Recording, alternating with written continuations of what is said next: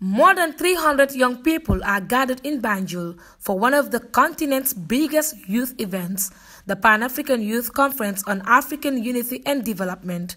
This, according to organizers, will avail participants the opportunity to come up with concrete solutions to Africa's problem. The 2019 theme, The Future is Now, Youth Are Not Too Young to Lead, is referred to by many as apt and will garner ideas on how young people can make upright decisions for themselves. The Minister of Youth and Sports, Hadrammeh Sidibeh, said that the Gambia has been at the forefront of continental youth development we are among the first African countries to establish a National Youth Council and formulate youth policies. You will also recall that African Youth Charter was adopted in the Gambia in the year 2006, and 10 years later, we also hosted the Banjul Plus 10, commemorating the 10th year anniversary of the Charter. He further highlighted that the history gathering culminates into reasonable steps for youth empowerment in Africa while urging young people to continue the selfless, proactive, and youth centered approaches to development.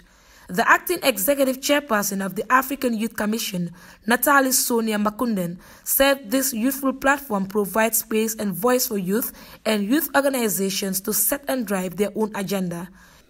This annual African Youth Conference on African Unity and Development is a multi-stakeholder youth-led and driven platform that aims at building capacities and strengthening engagement of children and youth in the current policy and decision-making processes. It is part of the Commission's efforts to improve interactions between children, youth-led and youth-serving networks, organizations, which focus on sharing their objective values and challenges.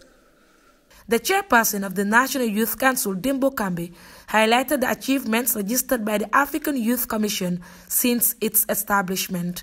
He, however, challenged young people to critically reflect on the theme of the conference, noting that it is a strong pronouncement and commitment to achieve. The Youth Network has been focused, motivated, and committed to the cause of the continent.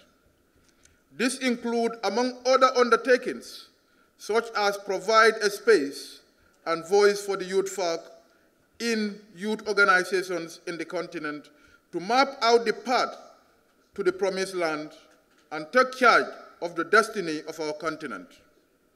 The representative of the Islamic Cooperation Youth Forum, Rasul O. Amar, renewed his office's commitment to supporting young people. He revealed that his office is also working towards the Africa Youth Solidarity Forum and OIC Summit in the Gambia. Meanwhile, U-Report Gambia, a mobile empowerment program that connects young people all over the world to information that will change their lives and influence decisions, was officially launched by the Minister of Youth and Sports, Hadrammeh Sidibeh. UNICEF's representative Sandra Lattouf explains the importance of the mobile application. It's not a UNICEF platform. It's not a UN platform, it's not the government platform, it's a youth platform. So we have an external uh, steering committee composed by numbers of partners and chaired by the uh, NYC to really talk about their own thematic. They will decide which thematic they want to put. Can be something around water, can be something around election. It's really over to the youth to have their voice. Sarata Sise is the Speaker of the Children National Assembly of the Gambia. I and my parliamentarians, we can work hand in glove. We can go ask those kids about the problems that they are facing, either in their society, the, uh, the country, or in school. They can tell us those problems, and we, the ones using phones, can disseminate that information through the social media. We know the African continent is being affected by issues of irregular migration, food insecurity, security and education. And these young people will come up with solutions that are very tangible to the Agenda 2063, the Africa we want, and the Sustainable Development Goals of 2030. And these are voices of young people indicating the Africa we want. Reporting for GRTS News, I am Sise Sawaneh.